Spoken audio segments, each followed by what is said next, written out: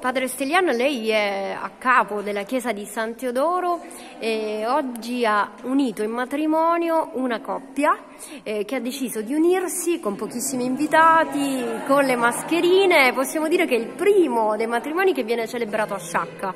E intanto, eh, com'è stato celebrare un matrimonio insomma, con queste restrizioni?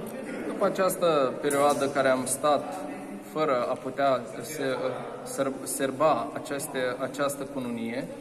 Dopo questo periodo che siamo stati fermi senza poter osservare nessun matrimonio, am decis să săvârșim uh, această căsătorie cu toate uh, restricțiile acestea, a purta măști și toate celelalte, să păstrăm distanța între noi. Abbiamo deciso di fare questo matrimonio con tutte le condizioni, con le mascherine, e con uh, distanziamento? Ca să nu să ajungă să fim noi aceia care să pornească de la noi această infecție sau această, această gripă. Per non uh, essere portatori di questa malattia.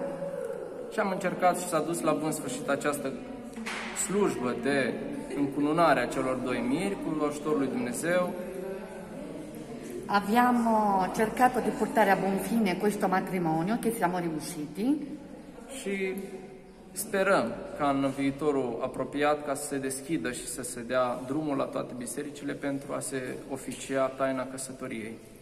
E speriamo che in futuro di aprirsi le chiese per poter uh, fare le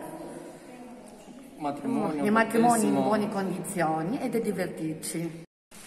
È stata un, una cerimonia più bella perché più intima o comunque lei pensa che il matrimonio comunque con tante persone è più bello da celebrare?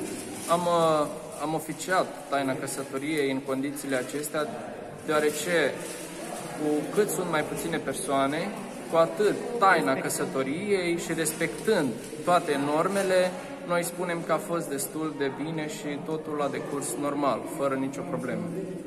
Abbiamo fatto questo matrimonio con, in queste condizioni perché siamo stati ristretti, però il matrimonio bello è quando siamo tutti di più, anche come fare la festa.